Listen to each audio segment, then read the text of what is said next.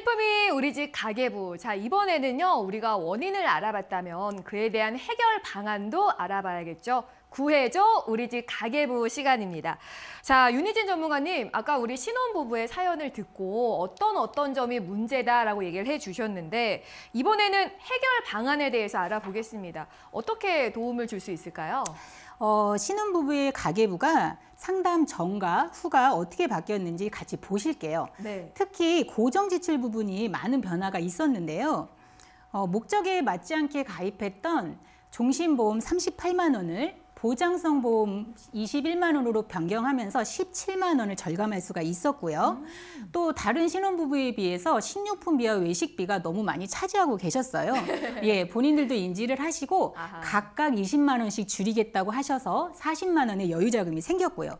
또 그리고 한 달 동안 이제 지출하시고 남은 돈을 그냥 일반 통장에다가 한 12만 원 정도 이렇게 묵혀두셨거든요. 그래서 어, 총 69만 원의 여윳돈을 가지고 어, 이 댁에서 가장 지금 시급한 문제인 개인연금이 없으셔서 부부 네. 합산 50만 원으로 개인연금을 가입을 시켜드리고 시켜드리고요. 나머지 이제 19만 원을 가지고는 어, 요즘 하루만 맡겨도 금리를 주는 통장을 혹시 알고 계시나요? 어, 뭐예요?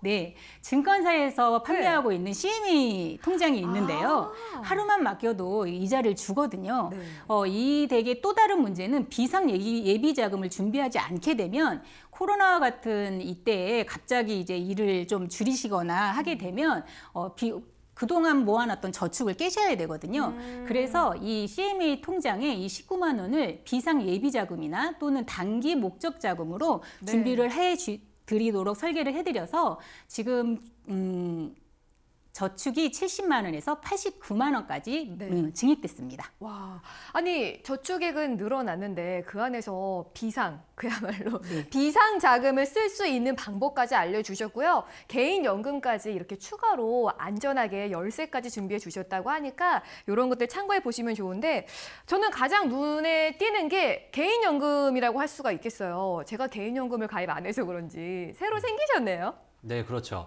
지금 이 신혼부부 같은 경우는 아직 나이가 젊고 또 자녀 계획도 있고 하기 때문에 저축액을 최대한 늘리는 방향으로 좀 설계를 했고요.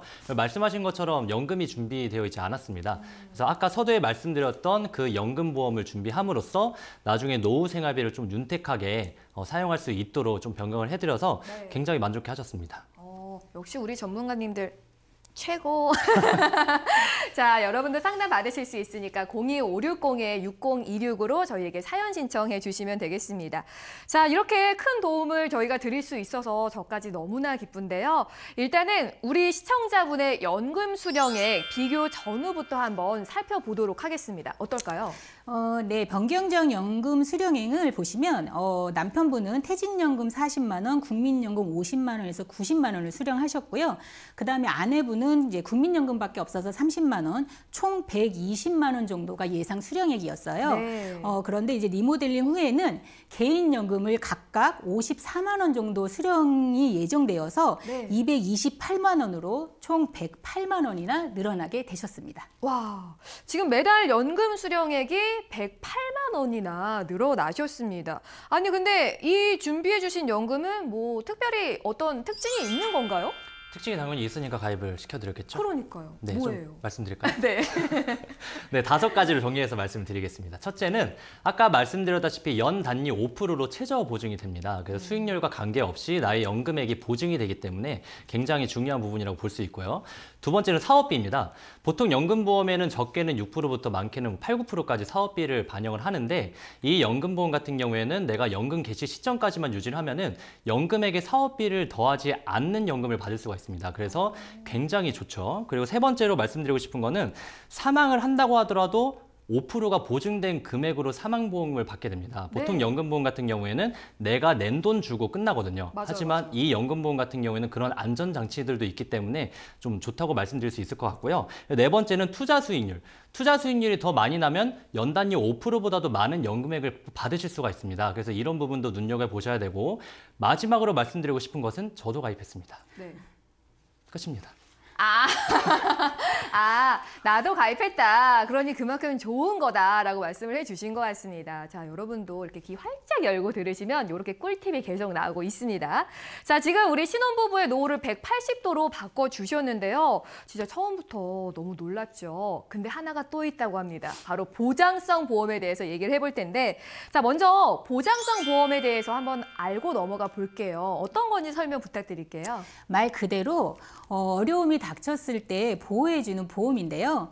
사망이나 질병, 입원, 어, 상해 등과 같은 생명과 관련된 보험 사고가 발생했을 때 보험회사가 피보험자에게 약속된 보험금을 지급해주는 보험을 말합니다. 어, 그러니까 보장성 보험은 어떻게 보면은 든든한 백 같은 거.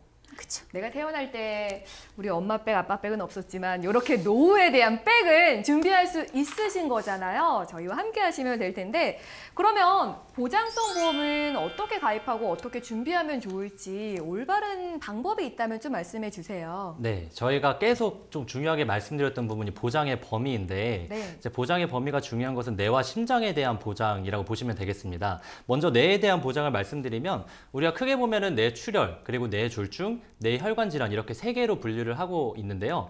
근데 우- 지금 증권을 보시면 아시겠지만 대부분 뇌출혈 혹은 뇌졸중만 보장을 받고 계실 거예요. 네. 네네네. 근데 뇌출혈 같은 경우에는 혈관이 터졌을 때만 보장이 되고 뇌졸중은 터지는 것과 막히는 것까지 되는 건데 뇌혈관 질환은 막히기 전에 전조 증상까지 뭐 까리가 부풀어 오른다던가 네. 틀어진다던가 이런 것까지 보장이 되기 때문에 훨씬 더 범위가 넓게 보장을 받으실 수가 있습니다. 그래서 그 범위의 차이를 보시면 뇌출혈 같은 경우에는 9%, 뇌졸중은 64% 정도 되고 뇌혈관 질환이 100%를 차지하고 있죠. 그렇다면 보험료 같은 경우에도 뇌출혈과 뇌혈관은 10배가 차이가 나야 되는데 그렇지 않습니다. 어.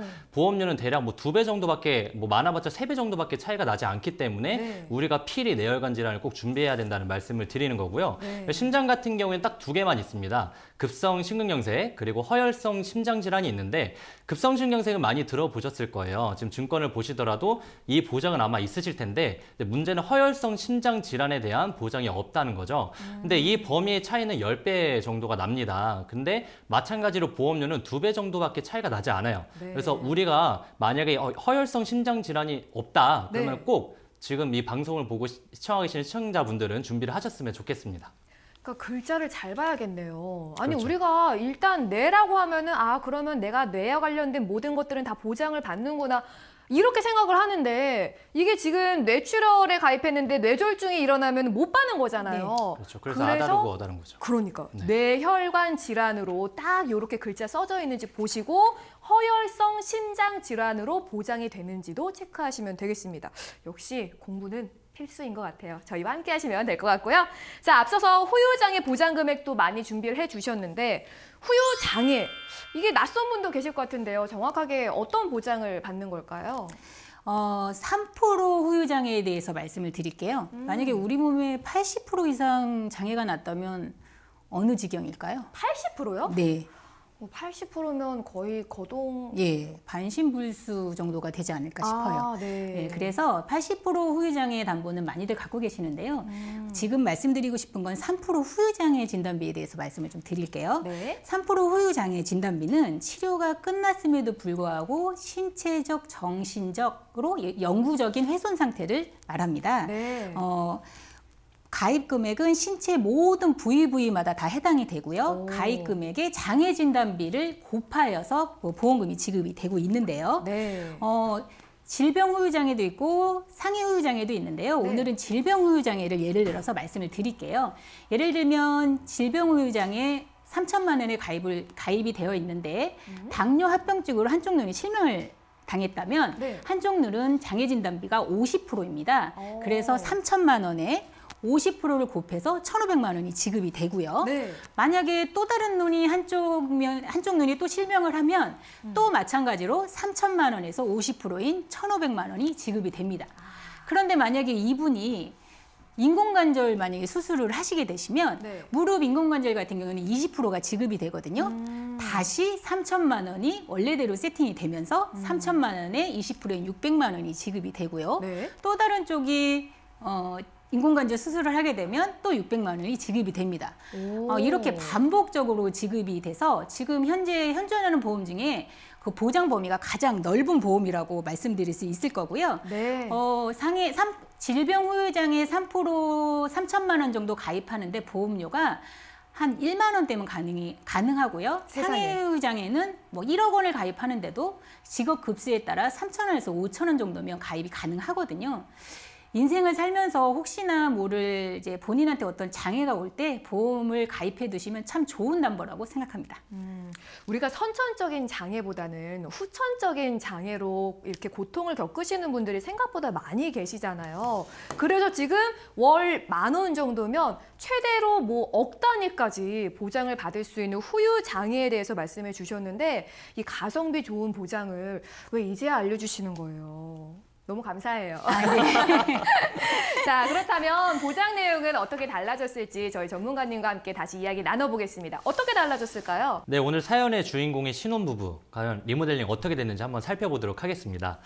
아, 먼저 기존에는 말씀드렸던 것처럼 종신보험에 준비를 하고 계셨어요. 그래서 보장 내용을 전체적으로 보면 암 진단비가 2천만 원이고 유사암 진단비 600만 원, 그리고 뇌출혈 진단비 2천만 원, 급성심근경색 진단비 2천만 원, 그리고 상해 사망, 그러니까 일반 사망에 대한 보장 금액이 5천만 원 이렇게 보장을 받고 계셨죠.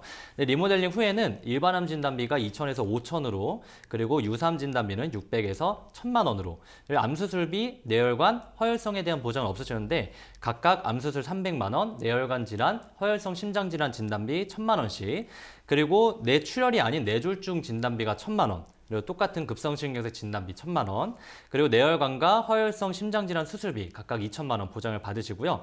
그리고 저희가 방금 전에 말씀드렸던 중요한 질병 후유장애도 기존에는 아예 없으셨는데 3%부터 100%까지 3천만 원 보장을 받으실 수 있도록 도와드렸고요. 상해 후유장애도 원래는 없으셨어요. 근데 1억까지 보장을 받으실 수 있도록 도와드려서 어, 원래 기존에 나입하시던 보험료는 대략 두 분 합쳐서 38만 원 정도 납입을 하고 계셨는데 네. 리모델링 후에는 21만 원 정도로 보험료는 낮아, 낮아졌는데 보장은 엄청나게 좋아진 것을 확인할 수가 있게 되었습니다. 와. 아니 보험료는 확실히 낮아졌는데 보장은 거의 뭐 두 배 이상 두 배 가까이 올랐습니다. 어떻게 이런 일이 어떻게 이런 일이 가능하게 된 겁니까? 오늘 사연의 신혼부부 같은 경우에는 기존 보험이 종신보험이다 보니 주계약이 당연히 비쌀 수밖에 없었습니다. 어, 그리고 표에는 기재되어 있지 않지만 입원비 또한 꽤 많은 보험료를 차지하고 있고요. 그리고 요즘 시청자분들도 아시겠지만 어, 요즘은 암 진단을 받더라도 3, 4기가 되지 않으면 거의 일주일 이상은 입원하지 않고 있거든요. 네. 어, 다른 질병도 마찬가지로 어, 질, 오래 입원을 하지 않고요. 이러한 이유 때문에 입원비 특약은 효율성이 너무 떨어져서 어, 좀 일부러 넣지 않았고요. 또한 같은 보정이라도 보험사마다 보험료 차이가 많이 나기 때문에 어, 본인의 성별 또 나이 그 질병 유무에 따라 우리나라에서 나에게 가장 좋은 보험은 각각 다르다고 보셔야 해요. 그래서 그만큼 연구도 많이 해야 되고요. 음, 근데 사실 이런 부분들은요, 우리가 아무리 공부한다고 해도 알 수 없는 부분들이 많이 있거든요. 아, 이런 거는 진짜 어떻게 해야 될지 모르겠어요. 나의 능력 바뀌잖아요. 그렇죠. 그래서 저희들이 있는 것 같아요. 맞아요. 그래서 지금 이게 사실 말씀하신 것처럼 소비자분들께서 직접 알아보신다고 하더라도 그 한계가 있어요. 그래서 저희 전문가분들 같은 경우에 다 직접 설계도 하고 각각 변동되는 내용들을 반영을 해서 저희가 말씀을 드릴 수도 있고 또 보험료가 개정이 될 때마다 좋은 보험사들이 바뀝니다. 그래서 아. 그때 그때 내가 좋은 보험을 준비를 하려면 그때 그때 알아보셔야 돼요. 그래서 꼭 상담을 통해서 좀 제대로 된 보험을 준비하셨으면 좋겠습니다. 네. 네, 아마 지금 함께하고 계신 우리 시청자 여러분들 대부분은요, 저도 마찬가지고요. 아마 뭐 엄마 친구의 권유로, 나의 친구의 권유로, 아니면 아, 저거 TV에서 봤어. 아니면 어, 띠링띠링 고객님 혹시 이런 부분까지 된다던데 어떠십니까? 해서 이런 텔레마케팅으로 가입하시는 분이 대부분일 것 같습니다. 그렇게 해서 잘 가입하면 문제지만 문제는 나의 목적과 다른 경로로 갈 수 있으니까 우리 어, 헬프미 우리 집 가계부를 위한 우리 시청자분들을 위한 우리 꿀팁들을 우리 전문가분들께서 좀 알려주시면 좋을 것 같아요. 어떻게 하면 좋을까요?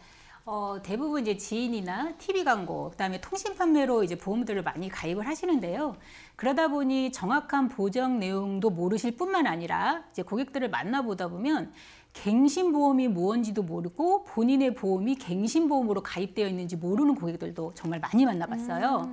어, 보험료가 적게는 몇만 원에서부터 정말 많게는 수십만 원씩 매월 자동이체로 빠져나가고 있는데도 말이죠. 어, 그래서 앞으로는 어, 보험을 전문가를 통해서 보장 내역을 꼼꼼히 설명 들으시고 본인에게 꼭 맞는 맞춤형 보험을 어, 갖고 계셨으면 좋겠습니다.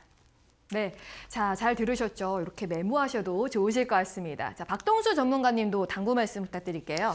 네, 지금 방송을 보시면서 좀 많은 것들이 뇌리에 스치실 것 같아요. 내가 뭐 제대로 된 길을 가고 있는지, 뭐 보험이 잘 되어 있는지, 뭐 가계부는 잘 되어 있는지 이런 것들을 좀 검토를 해보시고 문제점이 있다고 하면 혼자서 너무 마음 아파하지 마시고 꼭 전문가들의 조언을 받으시고 어, 제대로 된 길을 가셨으면 좋겠어요. 우리가 잘못된 길을 계속 간다고 해서 목적지 목적지에 도착을 할 수 없잖아요. 그런 것처럼 좀 제대로 된 길을 가셨으면 좋겠고 또 우리가 또 아프면은 의사를 찾아가듯이 네. 어, 잘못되어 있다면 꼭 전문가의 상담을 통해서 바로 잡으면은 지금이더라도 제대로 된 길을 가실 수 있을 것 같습니다.